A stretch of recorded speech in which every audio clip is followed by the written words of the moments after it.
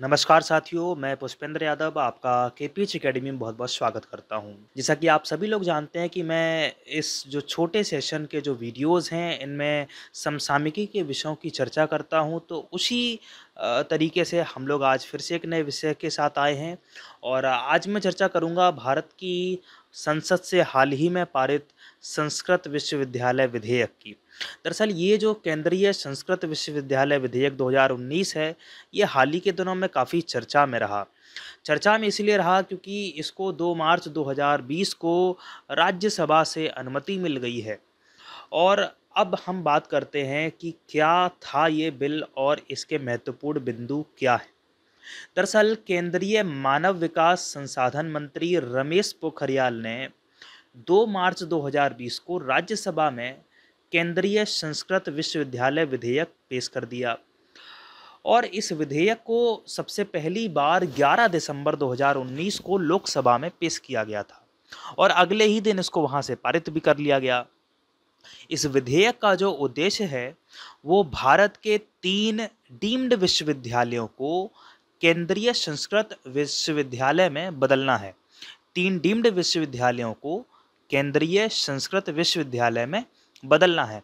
तो आपके लिए जानना बड़ा ज़रूरी है कि ये तीन केंद्रीय संस्कृत विश्वविद्यालय कौन कौन से हैं? इनमें दोस्तों जो सबसे पहला रखा गया है वो है राष्ट्रीय संस्कृत संस्थान नई दिल्ली। जो दूसरे नंबर पे रखा गया है दोस्तों वो है लाल बहादुर शास्त्रीय राष्ट्रीय संस्कृत विद्यापीठ नई दिल्ली और तीसरा है राष्ट्रीय संस्कृत विद्यापीठ तिरुपति। तो ये जो तीन डीम्ड विश्वविद्यालय हैं इनको भारत सरकार ने इस बिल के ज़रिए अब केंद्रीय संस्कृत विश्वविद्यालय में बदल दिया है। तो दोस्तों, यहाँ पर ये जानते हैं कि ये जो केंद्रीय विश्वविद्यालय होंगे, इन विश्वविद्यालयों के पास कौन कौन से कार्य होंगे और इनके पास क्या क्या शक्तियाँ होंगी?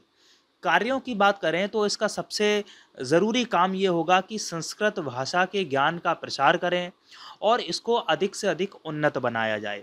तो वहीं इसका कार्य ये भी होगा कि सामाजिक विज्ञान और जो विज्ञान का एकीकृत पाठ्यक्रम है, उसके लिए एक विशेष प्रावधान किया जाए और संस्कृत भाषा और उसके जैसे विषयों को संरक्षण दे करके लोगों को इसके प्रति प्रशिक्षित भी किया जाए। ये सारे के सारे कार्य किए जाएँगे तो वहीं इन केंद्रीय विश्वविद्यालयों के पास कुछ शक्तियाँ होंगी। शक्तियों के रूप में पाठ्यक्रम क्या होगा और इसका प्रशिक्षण कार्यक्रम कैसा होगा, उसको ये विद्यालय तय करेंगे। साथ ही साथ ये डिग्री, डिप्लोमा और प्रमाण पत्र भी प्रदान कर सकेंगे। और दूरस्थ शिक्षा प्रणाली के माध्यम से सुविधाएँ प्रदान करना हो या एक कॉलेज या संस्थान को स्वायत्त स्थिति प्रदान करना हो, ये सारे काम ये लोग कर सकते हैं। साथ ही साथ संस्कृत और संबद्ध विषयों में शिक्षा के लिए निर्देश भी निर्गत कर सकते हैं।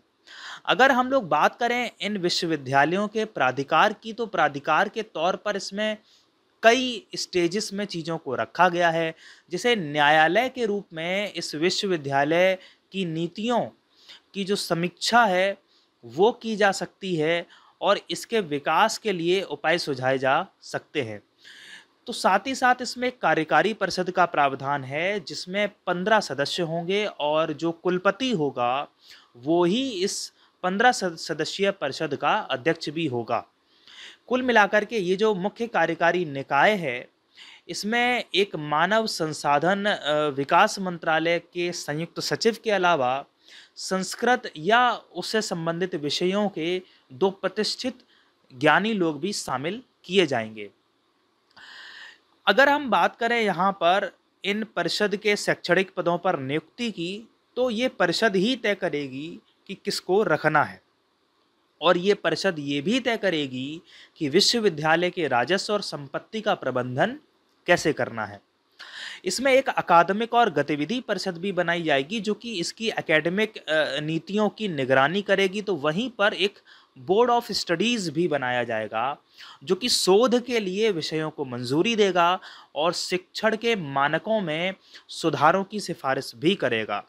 आप सभी लोग जानते होंगे जो केंद्रीय विश्वविद्यालय होते हैं, इनका जो विजिटर होता है वो हमेशा राष्ट्रपति होता है। तो यहाँ पर भी राष्ट्रपति को ही विजिटर के रूप में नियुक्त किया गया है और राष्ट्रपति इन विश्वविद्यालयों के कामकाज की समीक्षा और निरीक्षण कर ले, करने के लिए कुछ व्यक्तियों की नियुक्ति भी कर सकता है। और इन्हीं निरीक्षणों के निष्कर्षों के आधार पर कार्यकारी परिषद कार्यवाही भी कर सकती है। तो कुल मिलाकर के दोस्तों, ये एक कंप्लीट बात थी आपके जानने के लिए और आपके जो एग्ज़ाम आने वाले हैं, उसमें बहुत ही महत्वपूर्ण साबित ज़रूर होगा। जुड़े रहिएगा की पिच अकेडमी के साथ, पुष्पेंद्र यादव के साथ। आपका बहुत बहुत धन्यवाद।